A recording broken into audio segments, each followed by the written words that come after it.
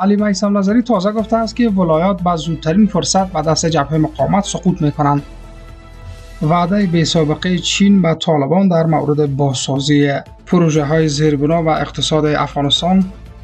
همچنان گزارش ویژه در مورد پیمانکاران خصوصی برنده جنگ افغانستان افرادی که میلیاردها دلار را به جیب زدند. آنها کیها هستند؟ همچنان چگونه طالبان سیاست خارجی مثبت و سازنده را در پیش گرفتند؟ سلام و کانال ما خوش آمدید.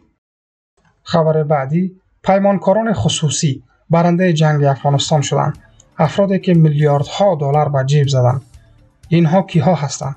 وال استریت ژورنال گزارش داده است که ایالات متحده در مبارزات 20 ساله خود برای تغییر افغانستان شکست خورد. اما شرکت ها و پیمانکاران خصوصی برنده این جنگ شدند.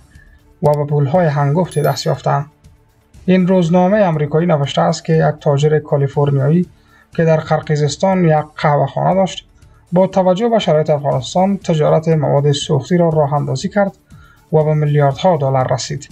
طبق این گزارش یک مترجم جوان افغان که قرارداد تهیه ملحفه های تخت را برای نیروهای امریکایی را بر عهده داشت نیز و یک امپراتوری تجاری دست یافته است. و صاحب یک شرکت هوایی داخلی و یک شبکه تلویزیونی شده است. وال ژورنال گزارش داده است که از تولید کنندگان اسلحه تا کارآفرینان هم از جنگ افغانستان سود برده و با منافع بزرگی دست یافتند این رسانه های امریکایی افزوده است که دو سرباز گارد ملی ارتش امریکا از اوهایو تجارت کوچکی را راه اندازی کردند. کار آنها این بود که مترجمان افغان را برای ارتش استخدام کنند.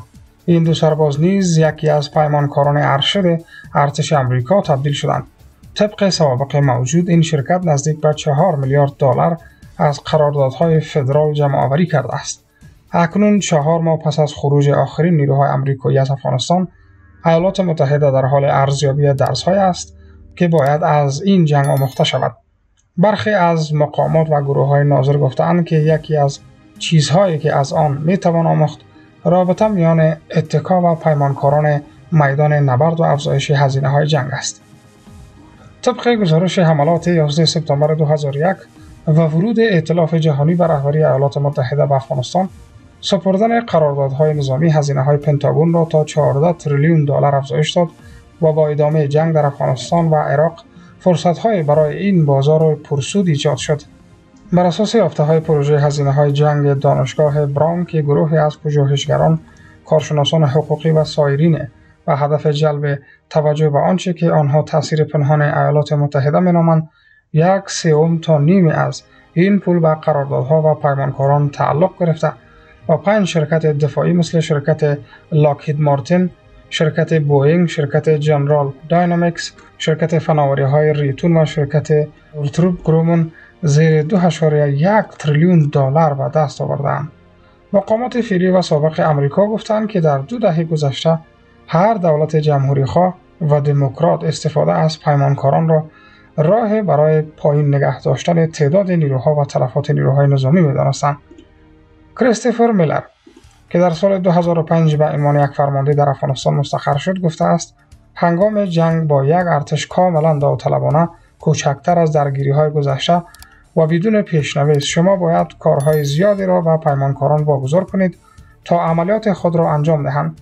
بعدها این شخص در آخر دوره ترامپ به عنوان وزیر دفاع امریکا تعیین شد. بر اساس این گزارش مبالغ هنگفتی که برای جنگ و بازسازی افغانستان پس از سالهای درگیری صرف می شود توانایی دولت ایالات متحده را برای بررسی قراردادها و اطمینان از خرج شدن این پول در حد مورد نظر تحت فشار قرار داده است. بر اساس گزارش ها در سال 2008 میلادی ایالات متحده 179900 سرباز در افغانستان و عراق داشت که اوج استقرار ایالات متحده بود و 203606 پرسنل پیمانکار بودند. زمانی که باراک اوباما دستور خروج بیشتر نیروهای آمریکایی را از افغانستان در پایان دوره دوم ریاست جمهوری خود صادر کرد بیش از 26 هزار پیمانکار در افغانستان حضور داشتند.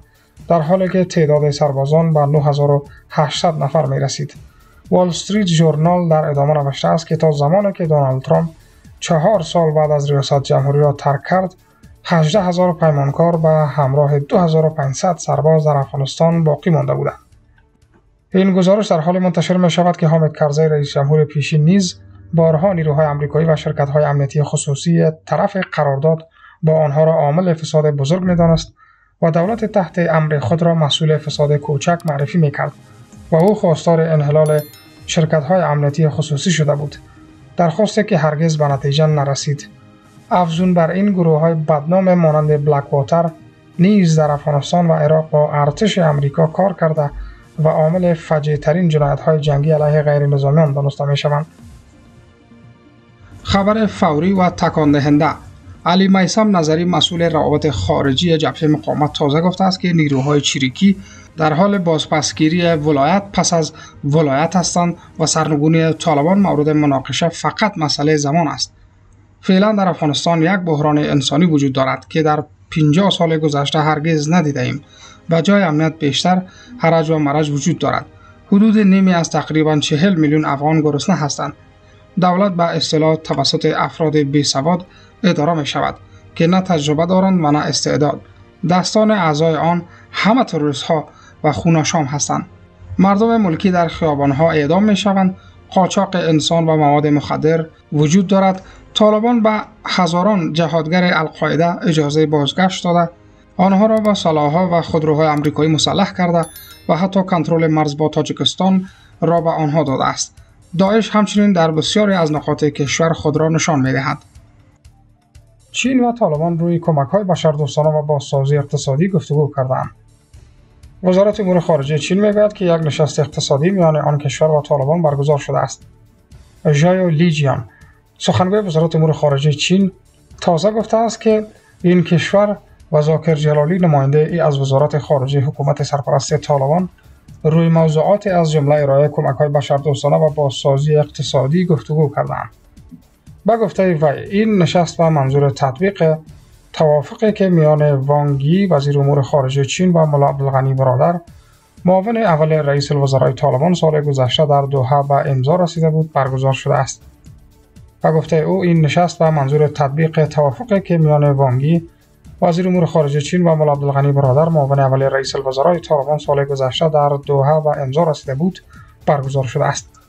و افزوده است که دو طرف در مورد وضعیت کنونی بشری در افغانستان با سازی اقتصادی و پیشرفت در کمک های بشردوستانه چین و افغانستان و همکاری های دو جانبه گفتگو کردند.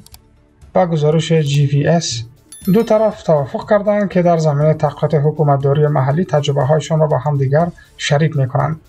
طرف چینی در این گفتگو برای ارائه کمک های بشردوستانه بیشتر به مردم افغانستان و نیز با سازی اقتصادی این کشور اعلام آمادگی کرده است. حکومت سرپرست طالبان با تایید این خبر گفته است که رئیس اداره وزارت امور خارجه با رئیس بخش آسیای وزارت خارجه چین روی موضوعات مختلف از جمله بازسازی اقتصادی افغانستان و مسائل بازرگانی و گونه آنلاین گفتگو کرده است. پس از روی کار آمدن حکومت سرپرست طالبان چین از معدود کشورهای است که تمایل زیاد برای برقراری ارتباط با طالبان دارد.